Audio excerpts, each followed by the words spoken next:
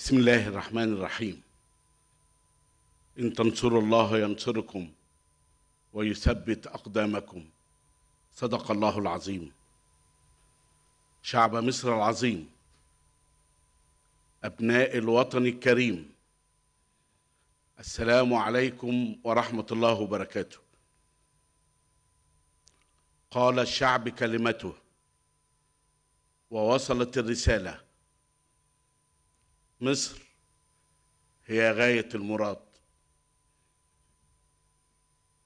نعم اصطف المصريون أمام لجان الاقتراع داخل مصر وخارجها تلبية لنداء الوطن صانعين بتراثهم ووحدتهم ملحمة في حب مصر.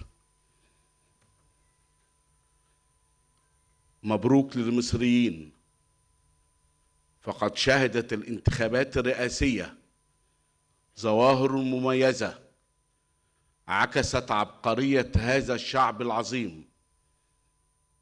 أولا خروج كل أطياف الشعب لتقول رأيها حيث صعب التمييز بأن المرأة هي التي كانت في أول الصفوف.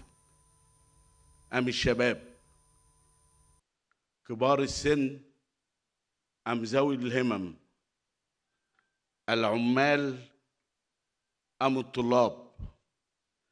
فكانت نسبة التصويت هي الأعلى في تاريخ مصر.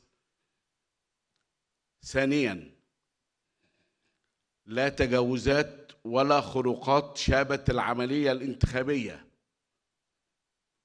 بل حازت على إشادات من البعثات الدبلوماسية والمنظمات الأهلية المحلية والدولية ومن قبلهم إشادة الناخبين. ثالثا تنوع المرشحين وبرامجهم حيث خاض السباق الانتخابي ثلاثة منهم يمثلون أحزابا مختلفة الاتجاهات والتوجهات ولها تمثيل نيابي مميز. ومرشح فضل أن يكون ظهيره الشعب. كما كان هناك التزام أخلاقي من المرشحين الأربعة فلم يوجه أحد منهم للآخر نقدا شخصيا. رابعا أقل نسبة إنفاق مالي على الدعاية الانتخابية وحياد غير مسبوق من كل وسائل الإعلام المقروءة والمرئية والمسموعة. خامسا تعاون الوزارات والهيئات المعنية مع الهيئة الوطنية للانتخابات. في الإعداد لهذا الاستحقاق الانتخابي الأهم. حتى خرج بصورة حضارية تليق بتاريخ ومكانة مصر. وكالعادة نزاهة القضاة المشرفين على الانتخابات. وحياد رجال الشرطة في تأمين مقار الاقتراع. فالفائز في هذه الانتخابات هو الوطن. والكنز اسمه المصريون.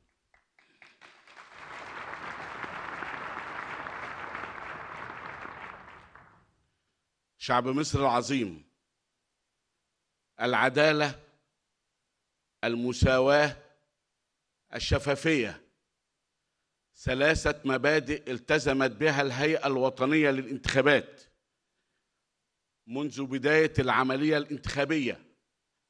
وحتى إعلان النتيجة اليوم.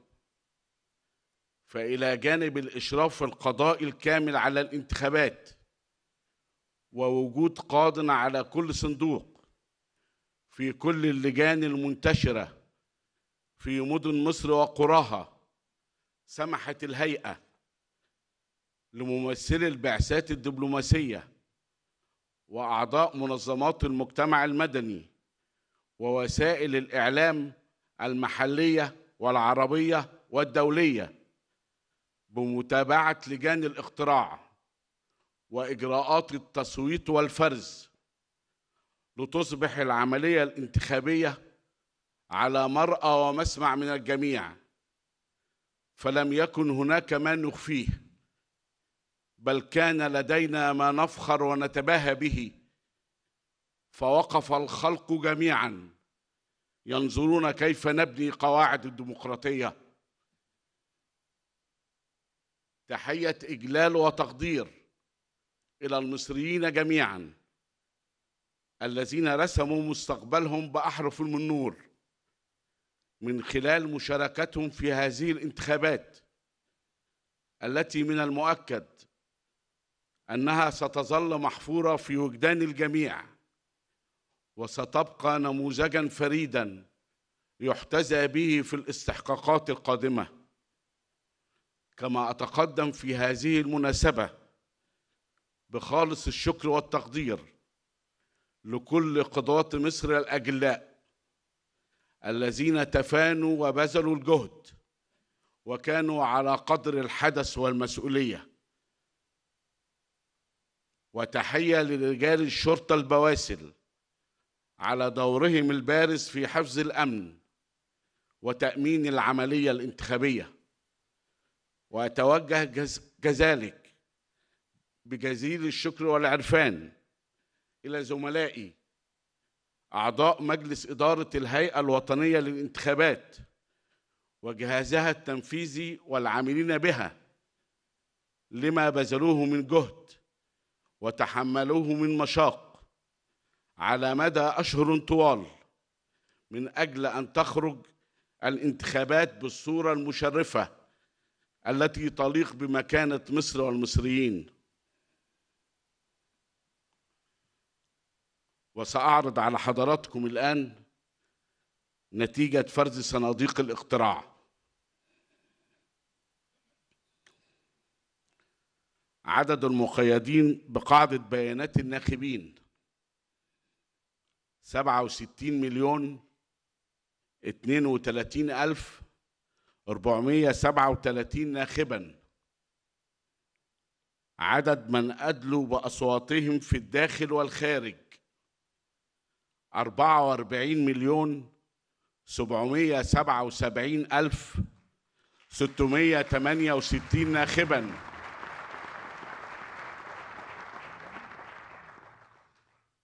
بنسبة مشاركة وصلت 66 وثمانية من عشرة في المية.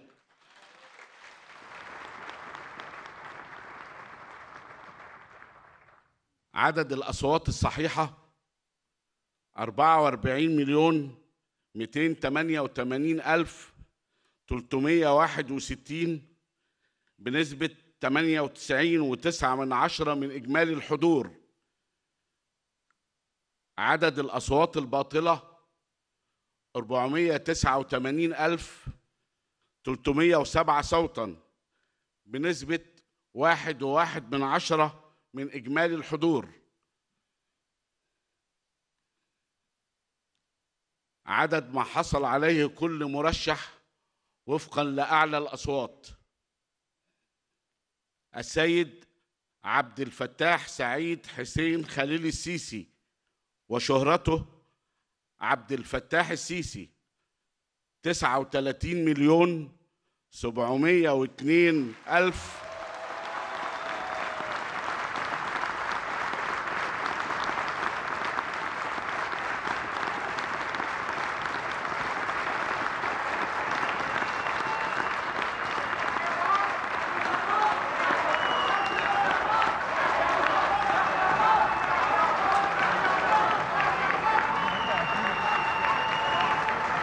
تسعة وثلاثين مليون سبعمية واثنين ألف أربعمية واحد وخمسين صوتا بنسبة تسعة وثمانين وستة من عشرة من إجمالي الأصوات الصحيحة. السيد حازم محمد سليمان محمد عمر وشهرته حازم عمر. مليون تسعمية ستة وتمانين ألف 352 صوتا بنسبة أربعة وخمسة من عشرة في المية من إجمالي الأصوات الصحيحة. السيد محمد فريد سعد زهران وشهرته فريد زهران مليون سبعمية ستة وسبعين ألف تسعمية اتنين وخمسين صوتا بنسبة أربعة في المئة من إجمالي الأصوات الصحيحة.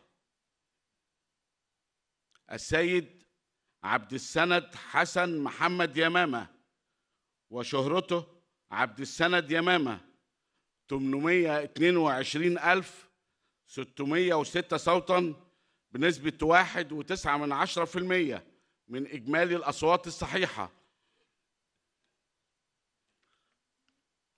وبناء على ما تقدم اجتمع مجلس إدارة الهيئة الوطنية للانتخابات ظهر اليوم وأصدر القرار رقم 39 لسنة 2023 باعتماد النتيجة النهائية للانتخابات الرئاسية متضمنا فوز السيد عبد الفتاح سعيد حسين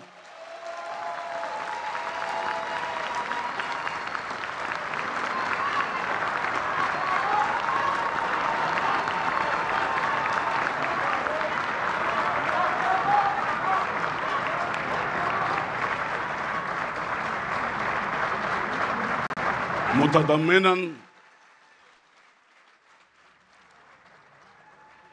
متضمنا فوز السيد عبد الفتاح سعيد حسين خليل السيسي وشهرته عبد الفتاح السيسي بمنصب رئيس الجمهورية لمدة ست سنوات ميلادية تبدأ من اليوم التالي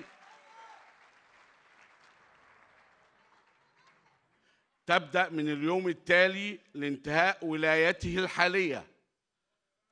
داعيا المولى عز وجل أن يوفقه في مسيرته نحو تحقيق التنمية والرخاء لمصر وشعبها. وأقول للمرشحين الذين لم يحالفوا بالتوفيق فزتم باحترام المصريين فزتم بإعلاء قيم الديمقراطية وفقكم الله فيما هو قادم. شعب مصر العظيم أديت وزملائي أعضاء الهيئة الوطنية للانتخابات وأعضاء الجهات والهيئات القضائية المهمة الموكلة إلينا بضمير وحياد القاضي وأثبتنا وبحق أن لمصر قضاة.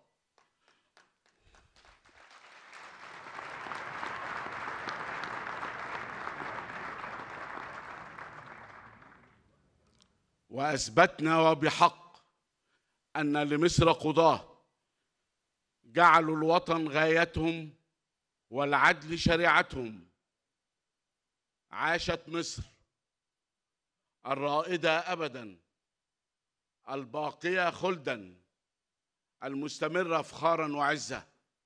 والسلام عليكم ورحمة الله وبركاته.